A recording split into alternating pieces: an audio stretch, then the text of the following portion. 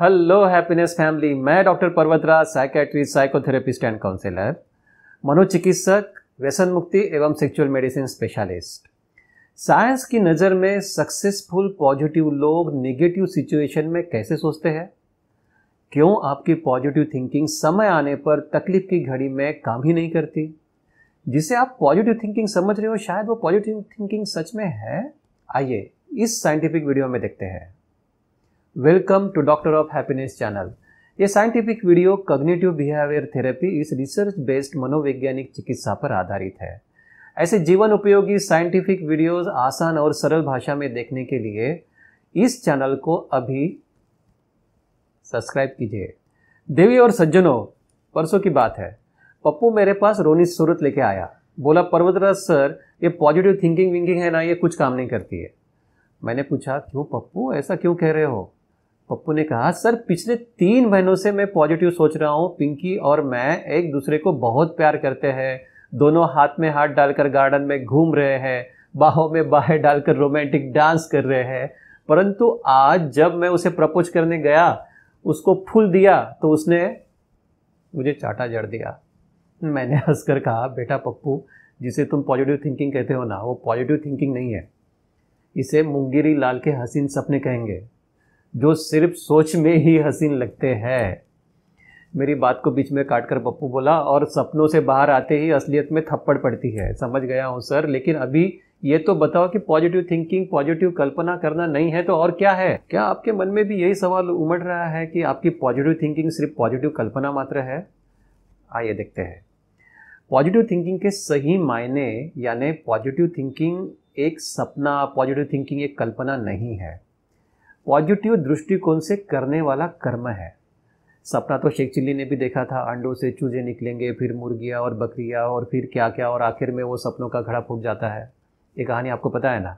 तो क्या आप शेख चिल्ली को पॉजिटिव सोचने वाला इंसान बोलेंगे? नहीं ना। देवी और सज्जनों, आपकी पॉजिटिव थिंकिंग कहाँ बसती है? ज़रा सोच के देखो। आपके सपनों में या फिर एग्जीक्यूशन में, कामों में? देवी और सज्जनों, याद कीजिए। आपने अब तक कितने लोगों को उनके प्रॉब्लम्स में कितनी बार ये सलाह दी है कि पॉजिटिव सोचो पॉजिटिव सोचो, सब ठीक हो जाएगा, सब ठीक हो जाएगा? बहुत लोगों को दी होगी अभी तक। सलाह देते समय हमें भी अच्छा लगता है है ना? और सुनने वाले को भी सब ठीक हो जाएगा, ये सुनकर अच्छा लगता है।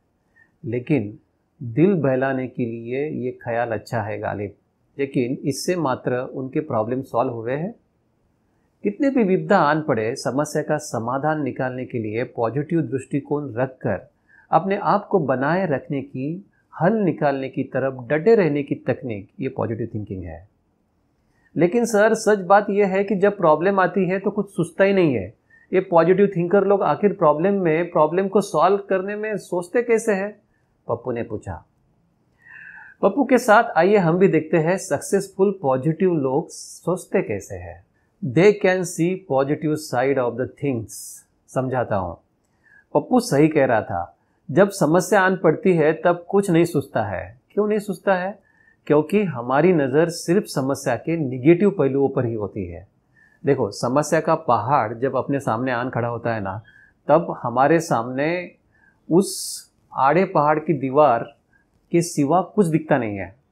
लेकिन ध्यान से देखो जरा साइड से एक संकरा रास्ता भी जा रहा है। इसको हम शायद नज़रअंदाज कर रहे हैं।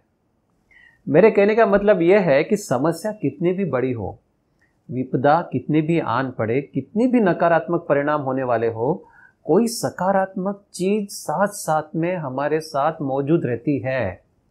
नज़र मात्र चाहिए उसे देखने के लिए। यह सुनकर पप्पू ने कहा, बिल्कुल सही, सर। पिंकी ने मुझे चाटा दर्द दिया मेरा दिल टूट गया, ये निगेटिव बात हुई। पर पॉजिटिव बात ये हुई कि उसने अपने बॉडी बिल्डर भाई को नहीं बताया, नहीं तो मेरा क्या क्या टूट जाता? देवी और सज्जनों, अगर आपकी नज़र सिर्फ़ संकट के समस्याओं के नकारात्मक पहलुओं पर है तो बहुत टेंशन आएगा, दिमाग काम नहीं करेगा और आप अंदर से टूट जाओगे। लेकिन अगर आपकी नज़र छोटी सी ही क्यों ना हो, थोड़ी सी ही क्यों ना हो, सकारात्मक बातों पर है वहाँ मौजूद तो आप अपने आप को बनाए रख सकोगे, रास्ता निकाल ही लोगे। कहते हैं ना, डूबते को तिनके का सहारा।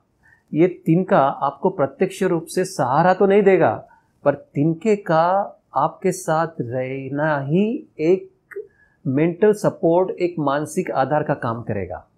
आपको टूटने से बचाएगा। जरा सोच के देखिए।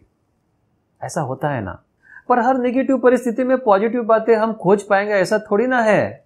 पप्पू मुझे पूछ रहा था। मैंने पानी का ग्लास दिखाकर पप्पू को पूछा पप्पू आपको क्या दिख रहा है? बोला आधा खाली ग्लास है। मैंने कहा पप्पू आधा भरा हुआ है। हम्म, पप्पू ने फिर कहा मैंने अगर ग्लास में कुछ पानी ही नहीं है तो? मैंने कहा फिर भी वो पूरा हवा से भरा हुआ है।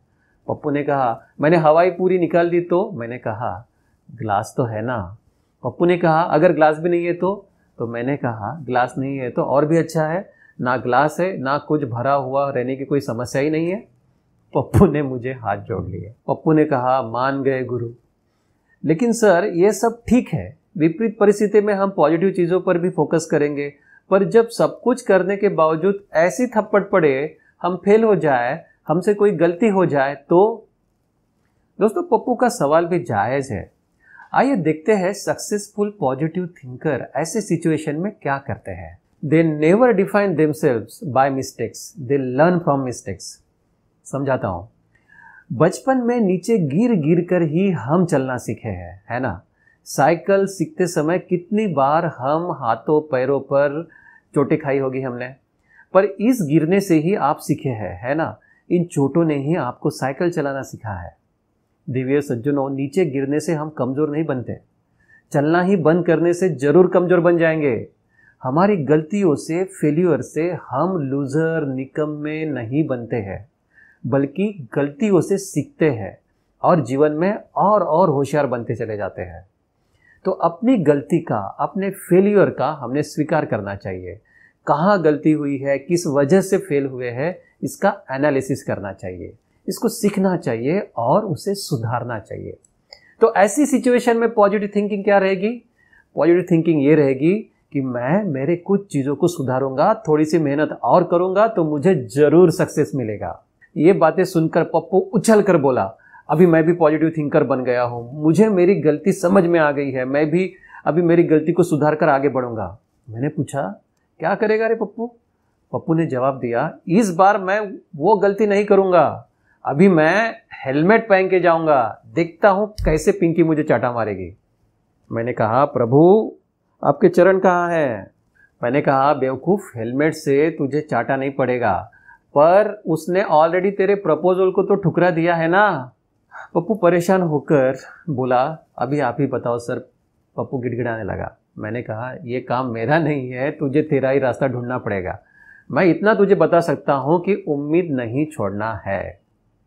देवी और सज्जनों, यही है सक्सेसफुल पॉजिटिव थिंकर की निशाने भी। दे आर ऑलवेज होपफुल उम्मीद पर दुनिया कायम है। उम्मीद पर हमारा जीवन भी कायम है। पॉजिटिव लोग अपने साथ कितना भी बुरा हो जाए, कितना भी नुकसान हो जाए, उज्जवल भविष्य की आशा की जोत वो कभी बुझने नहीं देते हैं। वे कभी निराश नहीं होते हैं। ना उम्मीद कभी नहीं होते हैं। ये आशा फिर से उठ खड़े होने की परिस्थिति से फिर से लड़ने की प्रेरणा देती है। ये बातें सुनकर पप्पू अचानक सीना तान के उठ खड़ा हुआ। हम होंगे कामयाब, हम होंगे कामयाब एक दिन। ये गाना गाते गाते वो निकल पड़ा। मैंने पप्पू से पूछा, अरे पप्पू, कहाँ चल दिए? पप्पू ने कहा, आशा को प्रपोज करने। उधर से पप्पू की आवाज़। ये देवी और संजू ने ये पप्पू तो कभी नहीं सुधरेगा। लेकिन पप्पू के साथ आज हमने बहुत कुछ सीखा है। क्या सीखा है? परिस्थिति कैसे भी हो, लेकिन आपके नज़र से पॉजिटिव चीज़ों पर दुर्लक्षण नहीं होना चाहिए। भले ही वो छोटी से छोटी क्यों ना हो, थोड़ी सी ही क्यों ना हो। अपने फेलियर से, गलतियों से हमने नहीं सीख लेकर बेहतर तरीके से आगे बढ़ने के प्रयास करने चाहिए। उम्मीद रखकर फिर से उठ खड़े होकर आगे बढ़ना चाहिए। देवी और सज्जनों, आप अपने कठिन परिस्थितियों में खुद को कैसे पॉजिटिव रखते हैं, नीचे कमेंट बॉक्स में लिखिए। शायद आपकी स्ट्रेटेजी किसी और के काम आएगी, है ना? तो ज़रूर लिखिए। आपको पता है, मानसिक स्वास्थ्य के बारे में बहुत ही कम लोगों में जागरूकता है। उसमें भी इंटरनेट पर सही साइंटिफिक जानकारी की भी बहुत कमी है। और ऊपर से आसान और सरल भाषा में और भी कम। अगर आप इस वीडियो को कमेंट करते हैं, लाइक करते हैं, शेयर करते हैं तो ये यूट्यूब अल्गोरिदम है ना, यूट्यूब का। इसे ज़्यादा से ज़्यादा लोगों को दिखाता है इस वीडियो को।